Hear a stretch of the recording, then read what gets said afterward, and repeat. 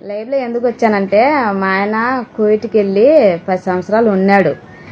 ఎన్ని వెళ్ళిన మూడు నెలలకే ఫోన్ చేశాడు. అంతే నాకు పని బాగలేదు నేను వచ్చేస్తాను అన్నాడు సర్లే వచ్చేస్తాను అంటున్నాడు అని చెప్పి ఈ దిగులుతుంటే ఆ మొత్తానికి ఇంట్లో నుంచి పారిపోయి బయట ఒక అమ్మాయిని చూసుకొని శుభ్రంగా బతికాడాడు.